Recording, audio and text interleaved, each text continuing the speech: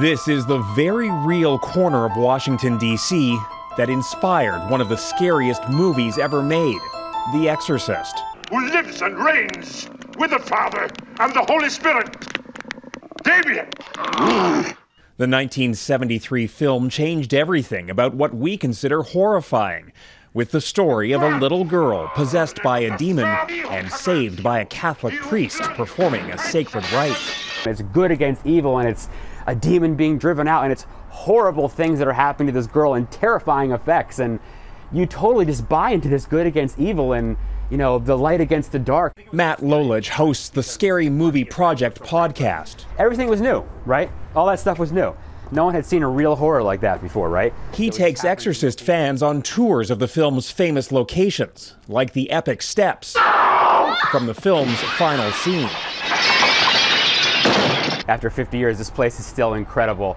I mean, even if you haven't seen this film, you know what these stairs are, you know what this place is. At the top of those long stairs, there's the actual house that was modified for the film. What they did was they built a facade, a taller roof on top, and they also built a fake front facade to come out this way. The Exorcist is still drawing sellout houses. but what people may not realize is that 50 years ago, The Exorcist inspired real fear. I fainted like 10 minutes after the first beginning of the movie.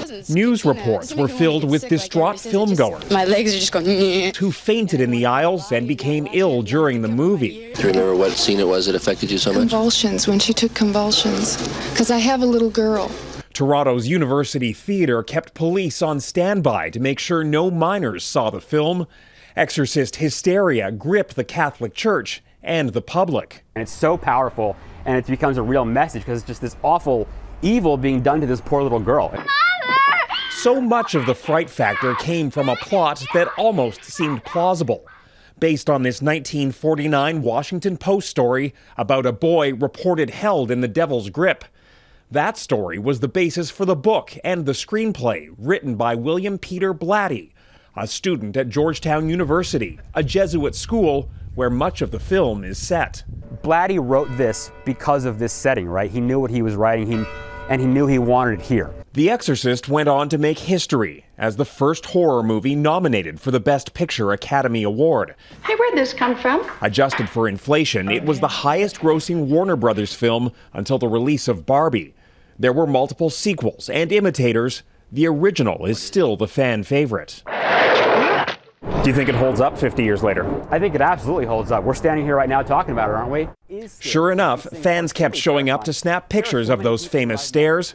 A film that scared, or perhaps scarred, a generation of moviegoers still turns heads half a century later.